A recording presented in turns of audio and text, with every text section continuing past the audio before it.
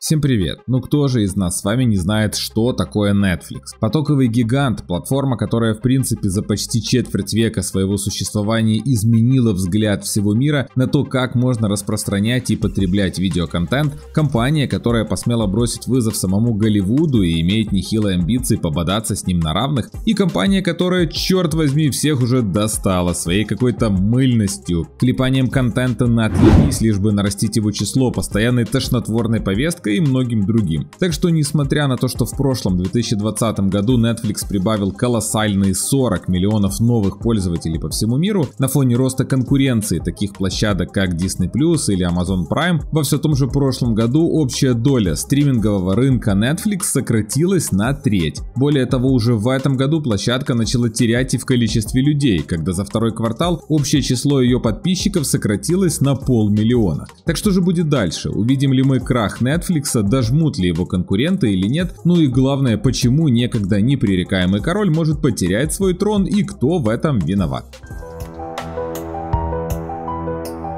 Итак, немного интересной справочки, совсем коротко, просто, чтобы вы оценили всю мощь. Netflix – американская развлекательная компания. Поставщик фильмов и сериалов была основана еще в лохматом 1997 году. Признавайтесь, малыши, кого тогда еще на свете не было. С 2013 года Netflix производит собственные фильмы и сериалы, в том числе и анимационные, а также телепрограммы. В 2016 году компания выпустила 126 оригинальных сериалов и фильмов, больше, чем любой другой сетевой или кабельный канал. Netflix ведет свое вещание в том или ином виде на 190 стран мира. Начиная с 2017 года компания стала приобретать права на распространение сторонних фильмов, а также выпускать свои. Причем практически сразу же оригиналы Netflix стали претендовать и получать самые престижные киношные награды. Так, в 2019 году фильмы Netflix получили 15 номинаций на кинопремию «Оскар» и смогли одержать победу в четырех категориях. В 2020 платформа получила аж 20 24 номинации, правда при этом всего две награды, зато уже в 2021 число номинаций взлетело до 35, из которых фильмы Netflix выбрали себе ни много ни мало 7 статуэток. Такая активная экспансия в мир кино даже вызвала множественное возмущение в Голливуде, когда ряд довольно авторитетных в киношной среде персонажей и студий предлагали лишить фильмы компании возможности претендовать на Оскар, ведь они зачастую не идут на большом экране. Ну и конечно прошлый, 2020 год стал просто золотым для Netflix.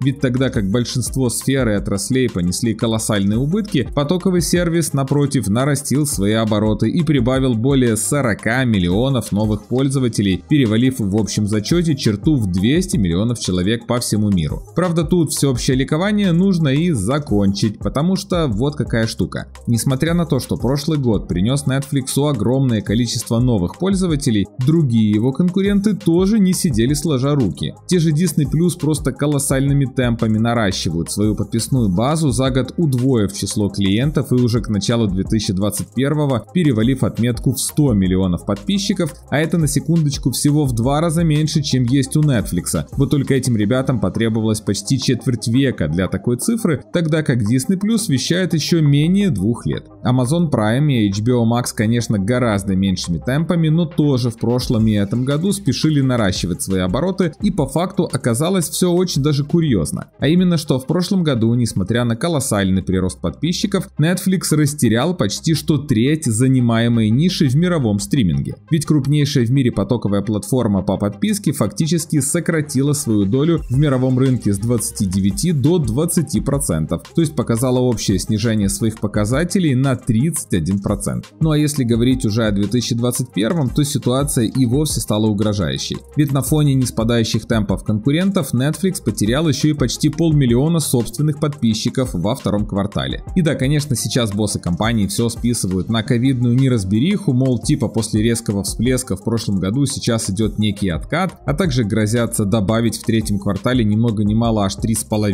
миллиона новых пользователей, непонятно правда откуда. Несмотря на все это, как мне кажется, Netflix нужно всерьез озадачиться, ведь его гегемония уже не выглядит чем-то незыблемым. Более того, если все пойдет в том том же духе лет через 5 Netflix будет хорошо, если вторым после Disney+, а в худшем случае его второе место будут рвать еще и Amazon с HBO Max, каждый со своей стороны. В чем же причины такой плачевной ситуации и кто в этом виноват? И тут начинается самое интересное. Видите ли, как возможно знают многие, а кто-то нет, Netflix это перманентный должник. Да-да, несмотря на всю свою типа мощь, потоковый сервис в долгах как в шелках, и такая ситуация наблюдается уже давно. Судите сами, суммарный долг компании в 2016 году составил 16,8 миллиардов долларов. По состоянию на сентябрь 2017 он был уже 21,9 ярда, а в октябре 2018 года Netflix объявил о привлечении еще 2 миллиардов долларов для финансирования нового контента. В 2020 компания потратила 11,8 миллиарда зеленых на создание контента, при этом оставаясь колоссальным должником. То есть по факту за последних 10 лет боссы Netflix взяли в долг более 16 миллиардов. Почему? Ответ прост, им постоянно не хватает денег для продуцирования нового контента. То есть по сути бизнес-модель Netflix все еще убыточна, именно поэтому некоторые наблюдатели давно утверждают, что Netflix это карточный домик, обремененный долгами, который в конечном итоге рухнет.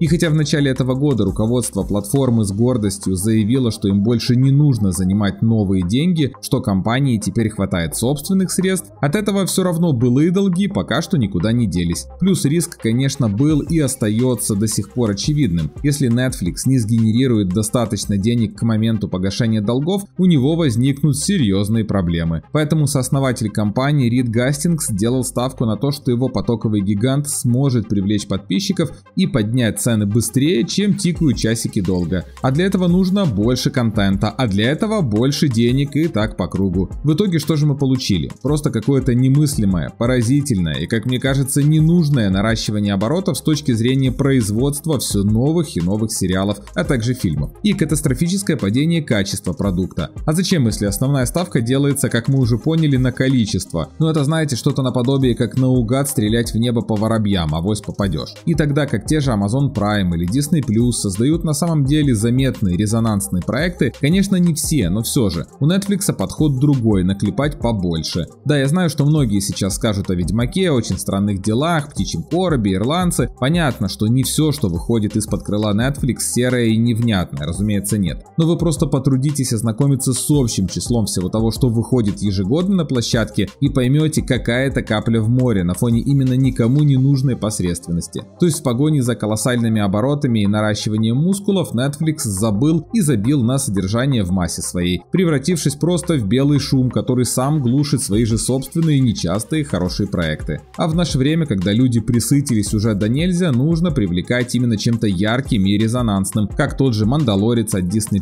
или скажем Пацаны от Amazon, не говоря уже о будущем Властелине колец, а не просто за те же деньги снять с десяток никому нахрен не нужной ерунды. Плюс проблема номер два, моя любимая, это общая направленность, если хотите, политика компании. Ну вы понимаете о чем я, ведь кроме Netflix, ну разве что Disney настолько же упорото отстаивает где нужно и где не нужно, набившую всем оскомину современную повестку. И да, возможно, это и не прям ключевая причина неудач площадки, но думаю, что в перечне она далеко не последняя. Ведь в конце концов, каким бы либеральным и прогрессивным не было общество, когда ему сладкий сахар разбавляют сахаром, а потом сверху посыпают сахарной пудрой, возникает рвотный рефлекс. Именно как после просмотра очень многих нетфликсовских фильмов и сериалов, которые или создаются исключительно, чтобы показать, какие мы, мол, современные и широких взглядов, или просто этими самыми взглядами загаживаются настолько, что все остальное в данных проектах просто умирает. Так что товарищи из Netflix, если будут идти все по тем же рельсам, вполне могут в итоге угодить под поезд, который раздавит их и не заметит. Плюс еще один момент это тот факт, что контент тех же Warnerов или Disney, который ранее запросто лежал на платформе, теперь после появления HBO Max, Disney Plus и же с ними перекочевал, так сказать, к законным владельцам, оставив у Netflix зияющие дыры, которые не могут заполнить никакие оригиналы платформы. Ну и последнее, как это ни странно звучит, кажется, Netflix просто подохренел.